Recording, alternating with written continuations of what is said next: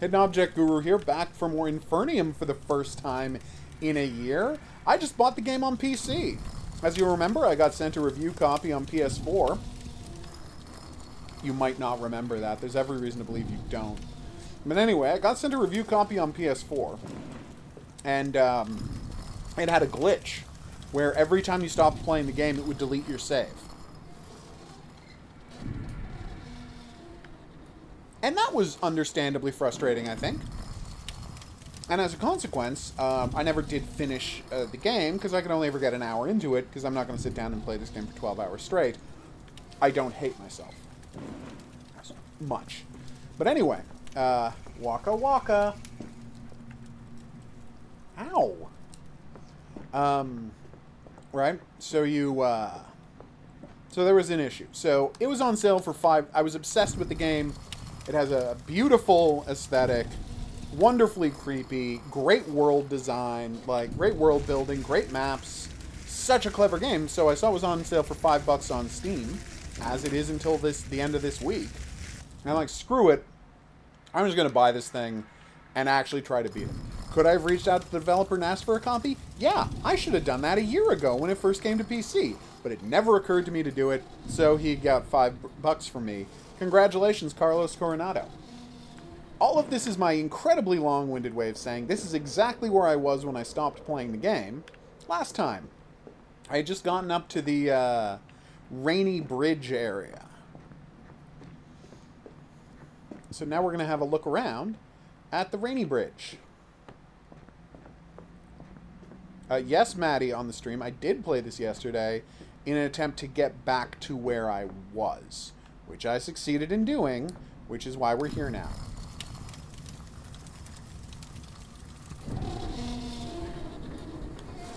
I know, it's so unlike me to ever pay for a video game.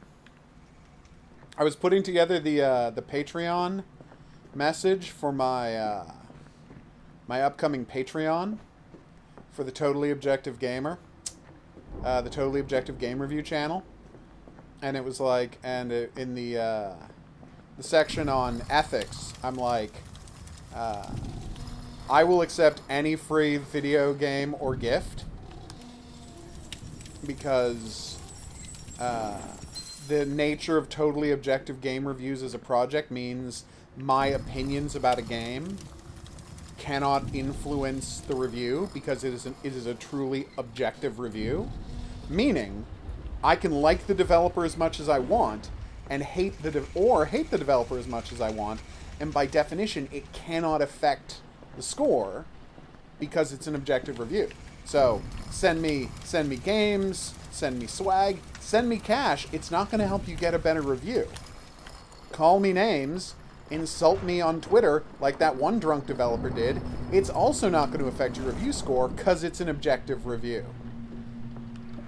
In many ways, it's the most noble thing I've ever done. Ah, I couldn't finish that sentence without laughing. Uh, but no, it is the most noble thing I've ever done. Uh, yes. Hey, Ghosty Ghost. They're so stressful. I love them so much. They're all invisible, but some of them wear bed sheets, but most of them don't. Well, no, most of them do. Just some of them don't. Do, do, do. I already got... This is a puzzle area where you have to, like, flip switches while being chased by two ghosts simultaneously. It sucks so hard you would not believe it, but I've already gotten through it, so I can just do this. Uh, do this. Thank you.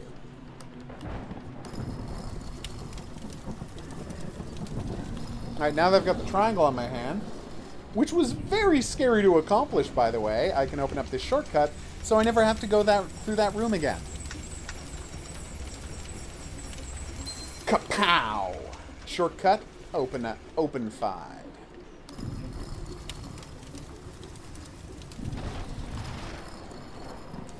Dude should be right here waiting for me. Oh. He didn't follow me. It's a little weird. Oh, whatever. When I tried doing screen recording of this game, the game recorded uh, fine. I was getting some footage for my totally objective review of the game yesterday. But when I tried to take screenshots while doing screen recording, it bugged out and only took screenshots of the very first image when I started recording the game. I don't know why. It's a kind of uh, break I've never seen before. I think I just grabbed a...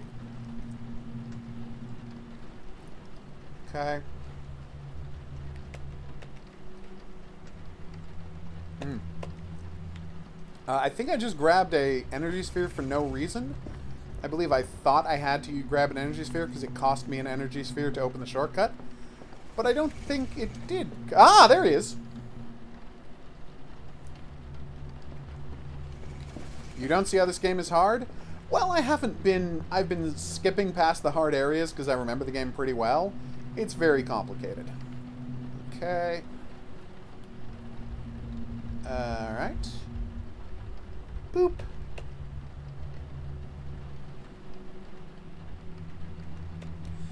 Yeah, and since all of these messages are just like... And as you can see the way it slightly floats offset from the background, they're just PNG, uh, hovering PNGs floating in front of the walls. They could just he can just have PNGs from all the different languages floating in front of the walls without any trouble. And that way there has to be a PNG file somewhere with the messages from the um, from the banners on them. So maybe I should check the game's file to see if they're just visible PNGs. They're probably archived somewhere, so I can't just look at them, but it might be worth checking out. Uh, we got that one, we got that one. Yeah, we're good to go. I want to find out the full story of their spelunking trip that made them find out about monstrous uh, mushrooms and witches and drove people insane, and they discovered that hell's a real place. I think. Okay. Alright, save.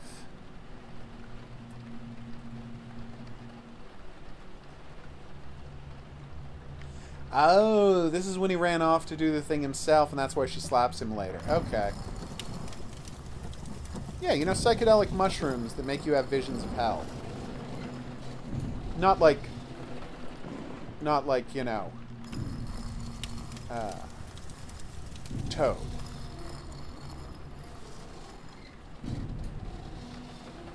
who is in his own way a, mon uh, a monster mushroom. When you go through those gates, it resets the position of all the ghosts. See, once you've got the triangle hand, you can unlock these without spending um, spike points on them, so that's good. Uh, I told you, Maddie, I'd get to, to it after I'm done the script I'm on. But I will. This I guarantee you. I will check it out once I'm done the script I'm currently writing. I don't I can't have anything distract me from that from a creative standpoint. Damn it! Two spikes! And there's so much money inside. That's what I call those. I call those money. Damn, that one's really hard to read. Thought maybe there was a chance I could make some light appear, but there's not. I'm really gonna have to play with the uh, gamma on this one to make it readable later.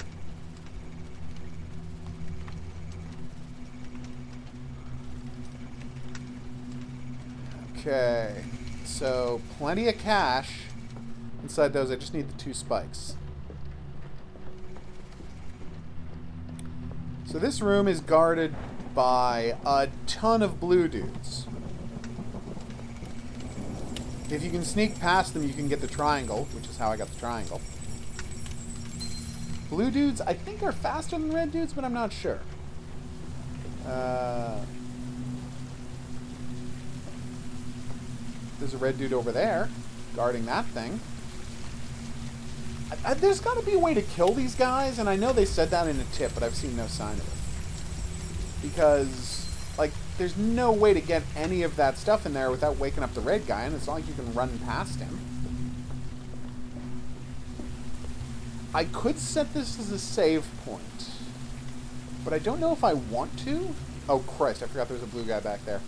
What I think I would rather do is go back to the beginning of the game and seeing where the secret passage you open by using the triangle key at the beginning of the game gets you. So that's what we're going to do now. I will pause the recording until we get back to the beginning of the game. Yay! I'm pretending that's an accomplishment. I am going to open all the doors first, and I will show you the Rainy Bridge. This is the Rainy Bridge area. Like, that's just what it's called. Uh, it's one of those one-way doors, I think. Yeah, you got to make a real commitment. And then, of course, you can come back and open up the shortcut later. And that is where the invisible guys live. We got this one, right? 23? I'm just going to do that to be safe. Why not? I mean, it doesn't hurt me anything. I took one uh, screenshot. Right, so let's zip down to the bottom of the tower, shall we? That was not the way. And we're back. I'm out of the castle. I'm trying to sneak back down to the uh, beginning of the area so that I can uh, get back to the start of the map and see what's behind that triangle door. So what do you want to bet there's just nothing but monsters down there? Nothing but a hundred thousand monsters? But isn't that true of whichever direction I try to go in? Ah, screw it. Let's just take a look. Everybody's gone to the Rapture. I got the title wrong. Sorry, Maddie.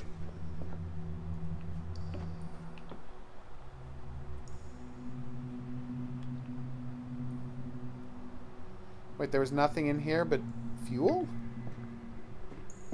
I'm so baffled. Huh.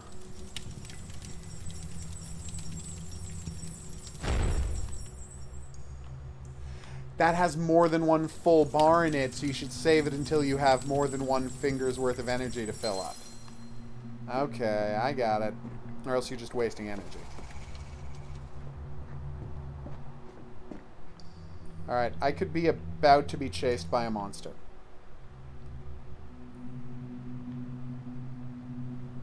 Okay. Anything out here?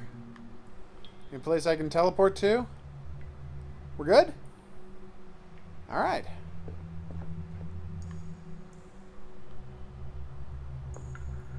Alright, so this is a turning circle, which you can use to sneak past monsters. They start chasing you. Ah, and there was one right there. There's a guy right there. Yep. Everybody's gone to the Rapture. I knew I had gotten that title wrong.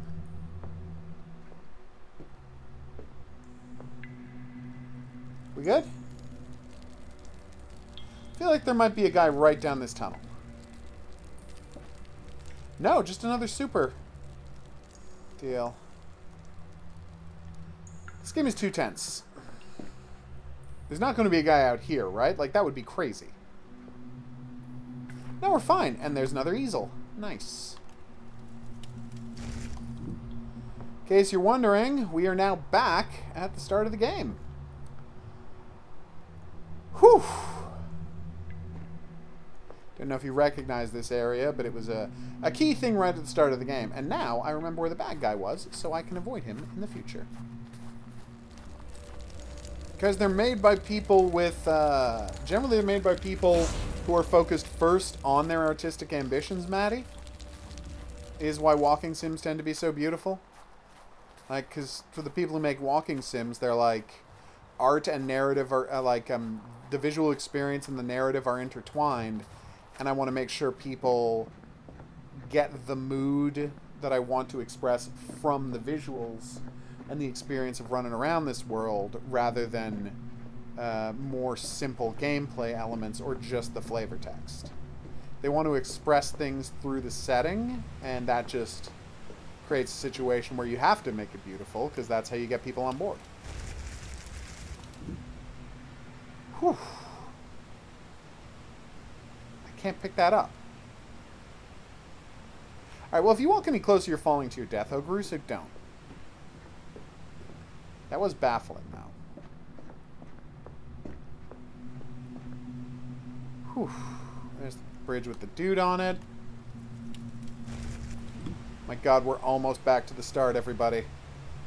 I'm so excited to find out what's over there.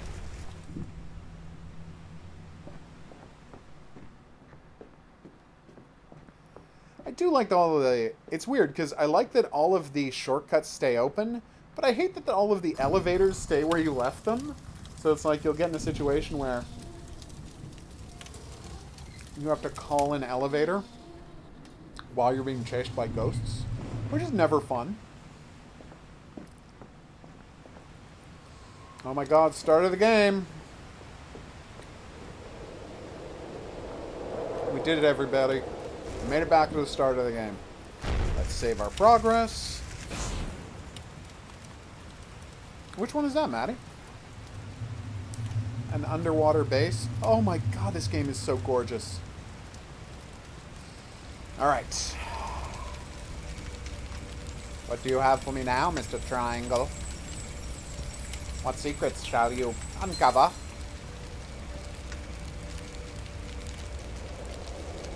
Have you any tips about what I might find below? No, that's literally just the room I was just in? Yeah, I figured. Soma is the one you're talking about. I just forgot the title. Thank you, Maddie.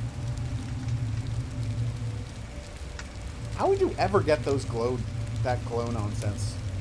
Anyway, let's go do this. oh no, it's a drop. Oh, I don't feel confident about this at all. Oh, is there any text on the wall up there? Well, we'll find out. I feel like this isn't the last time I'm going to be here. Are you talking about this voice, Maddie? This strange voice? The one that's only slightly removed from my 30s newsreader voice? So this place is entirely bit for built bit built for if you already have double hand spikes. Okay. Apparently I wasn't supposed to come back back here yet. What the hell is going on? Yes, yes. This character is always up to something. God, Jesus!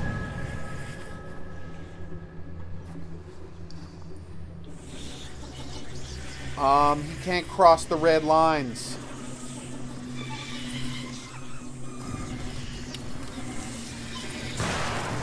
Killed me.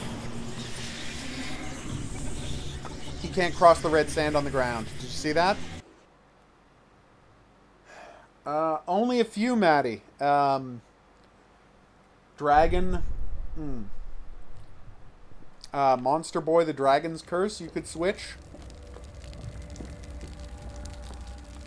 Like with the press of a button, you could switch between new and old graphics. Halo 2 Remastered, which is a Mass Master Effect, uh, Effect Collection. You can just tap a button and switch between the new and old graphics in almost instantaneously. It's actually a really neat effect. Uh, but very few remastered games let you do that.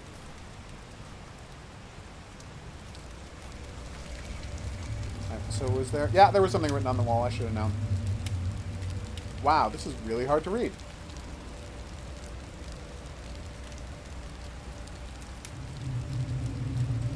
Oh, fuck.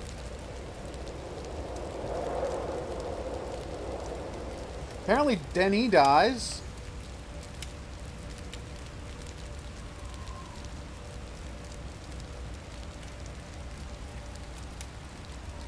That's Roof. Not hugely surprising. It's a story about a scary diving expedition. Those often turn out to be fatal.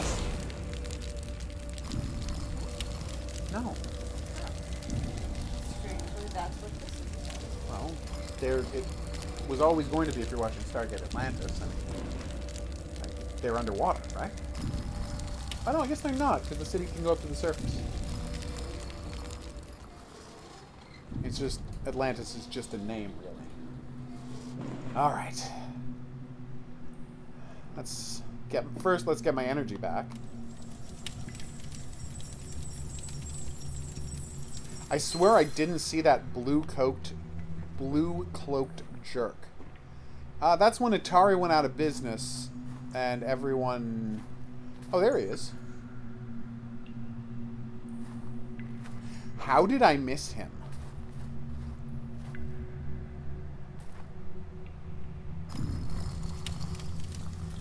I love that he can't cross the red sand. So here's how you get past this guy.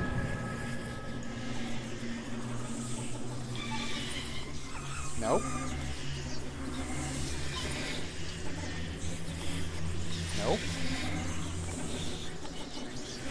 That was amazing.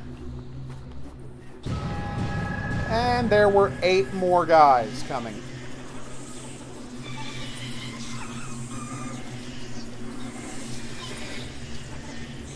I had, what, one second to feel proud of myself before I immediately got chased down by two of his buddies.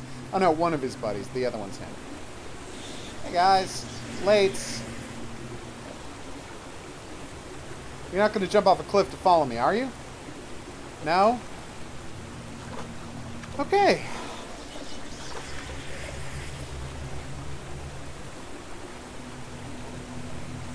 What never was. Is that a game, Maddie?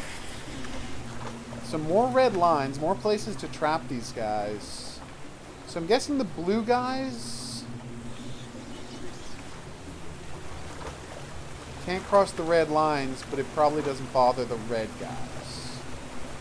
I wonder what that switch is going to do.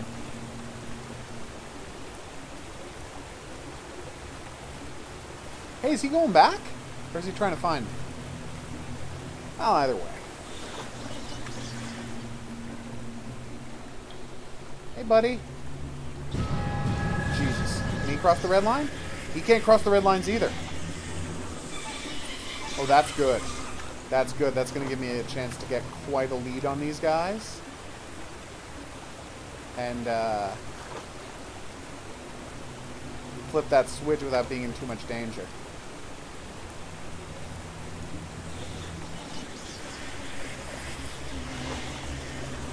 Three, two, one. Go for it. I have no idea what this switch will do, but I'm very excited to find out. We're behind the waterfall, I just realized. Faster, faster, faster, faster. What is wrong with you? Well, that didn't work.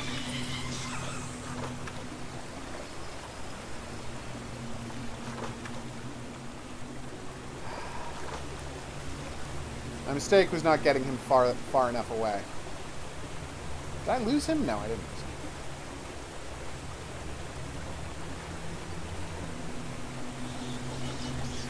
Okay. That's right. Come into this dead end. Move!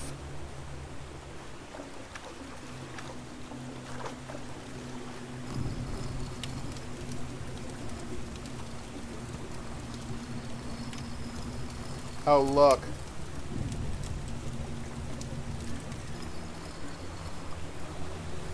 So what is happening now?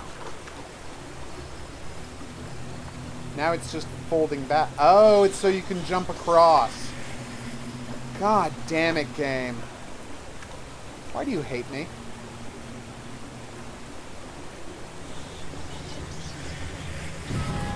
Um, what? Did you know there were gray ghosts that move at super speed? I didn't. He moves three times as fast. The blue ghost goes twice as fast as the red ghost. The gray ghost goes three times as fast. To the point where you just can't beat him in a foot race. And then I jumped off a cliff.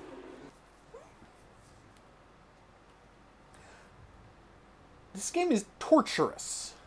Stop playing it then. No. Uh, anyway. Hey, kitten. Uh, this is this is amazing. We're probably gonna turn on just because I don't hate myself that much. We're probably gonna turn on the mod that slows down ghosts. You know, I don't think. Like I know what the developer wants me to do. I can see the experience the developer wants me to have with this game and I've had it. I have been punished. I have suffered for playing this game. It has been a brutalizing experience for all and sundry, but at some point I just have to say, I would like to beat this game. I would like to see the full story of the world of Infernium. And I don't want to spend 50 hours to do that. And I'm sorry, developer. If that means I'm not getting the complete experience of Infernium. But I honestly feel like you're not going to mind too much because you went out of your way to include a mode that allows me to do the thing I'm describing. And why would you do that if you didn't want someone to have the experience of beating your game, even if they sucked at games? I might be underthinking this. It's possible you are loaded with motives that I don't understand, and more to the point, could not understand because of a lack of intellect. And if that is the case, I am betraying you by not completing your game on the square. So this feels safe.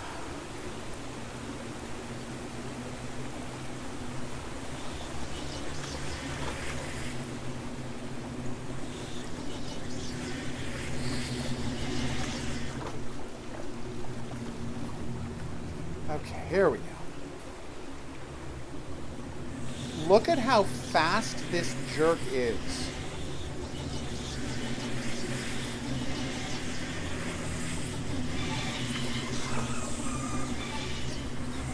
How can I possibly get far enough ahead of him to make this work?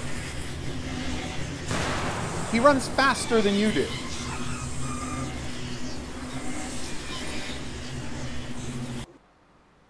I have lost. I have accepted that I lost.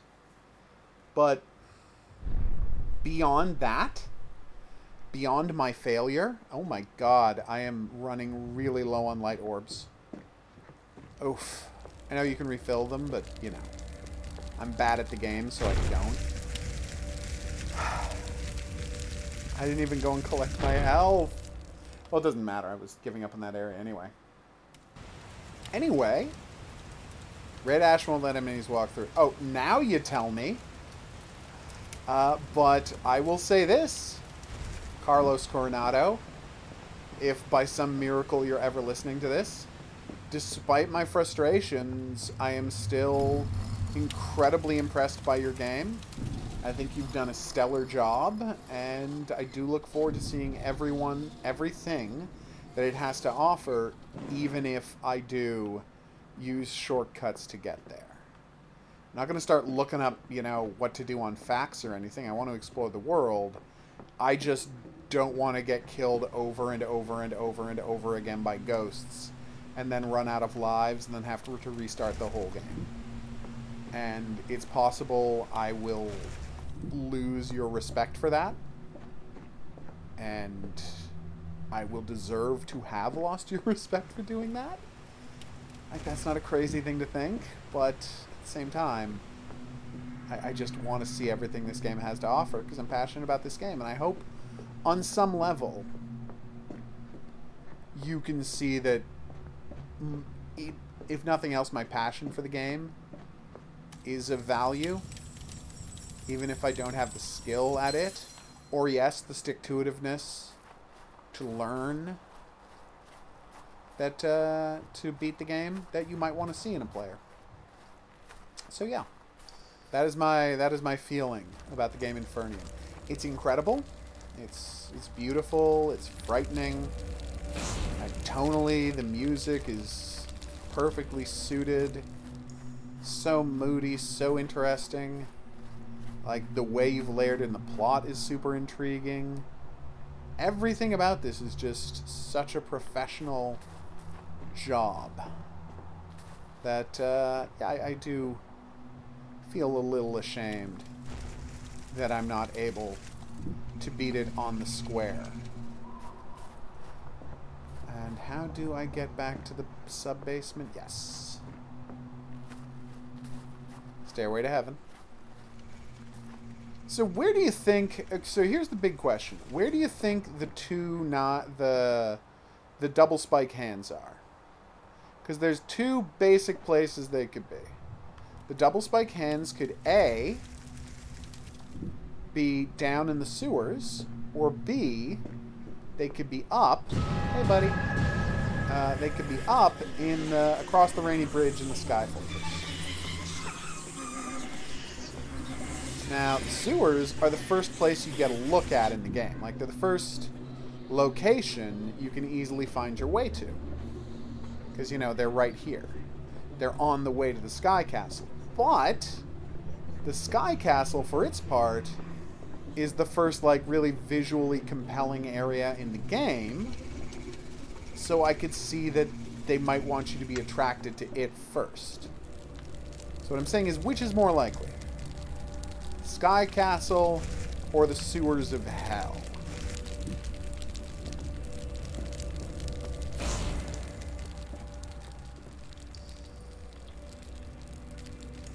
This is the place where the game really starts to get its uh, Dark Souls vibe going.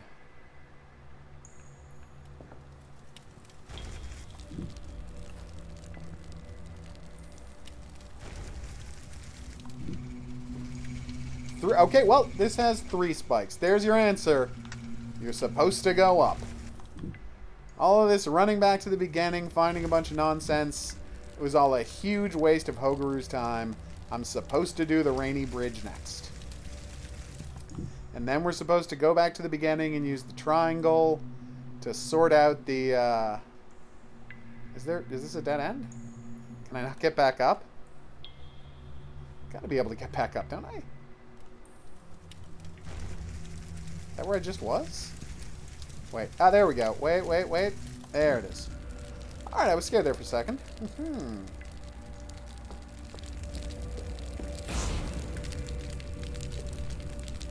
So we'll go back up to the rainy bridge, and that's where we'll wrap this up. Whew. I remain impressed, Infernium. I remain very, very impressed.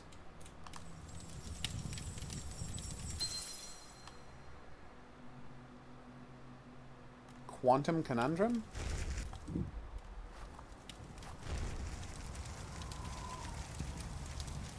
Come on. Thought I could have skipped a step here, but apparently not. Oof. What is Quantum Conundrum, if I may ask?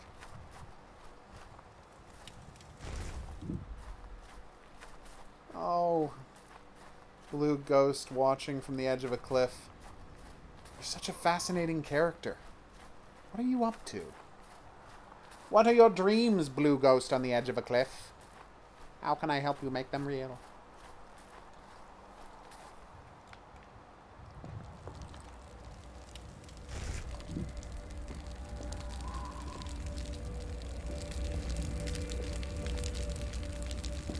Blue ghost on the edge of a cliff. If I have to spend my last dollar, I will make your dreams a reality.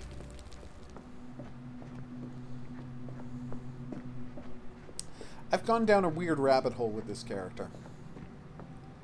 Don't know if I feel great about that. Do do do do do do do. Yep, I never opened that shortcut, because why would I? This is the wrong way.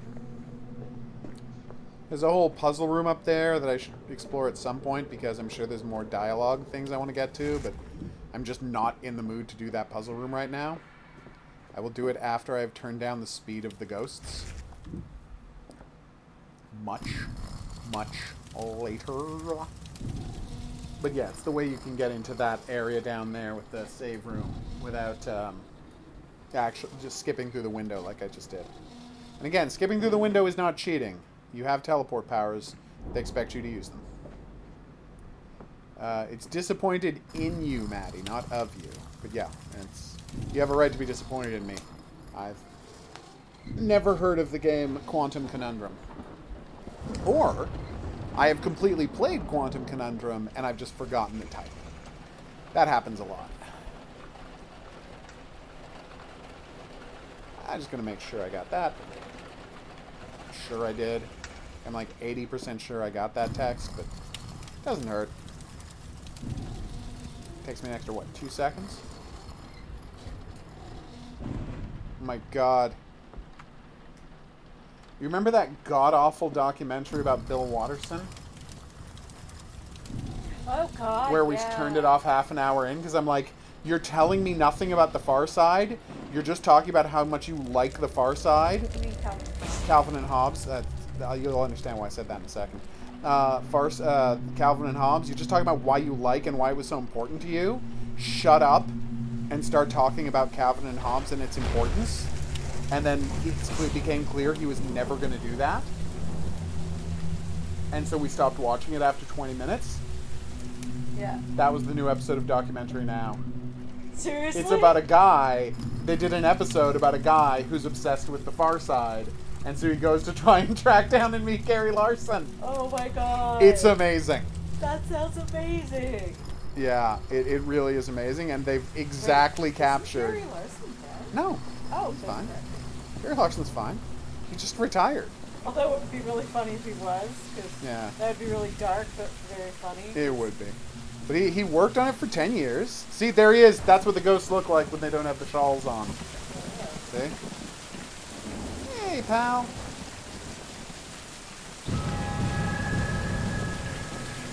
They're quite intimidating.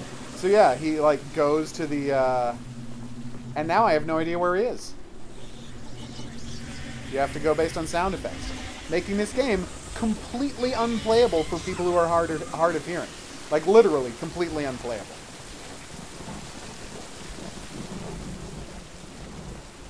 Uh, I really thought, ah, there's the switch. You'll notice that switch was unusually fast. It's because they know you're going to be being chased by a monster when you get here. A monster you can't see. But yeah, and how he's just like making a documentary about himself and has nothing to say about the far side. Oh, the floating lanterns, the beautiful rainy bridge. This game is a masterpiece. Ah, I have not heard of that.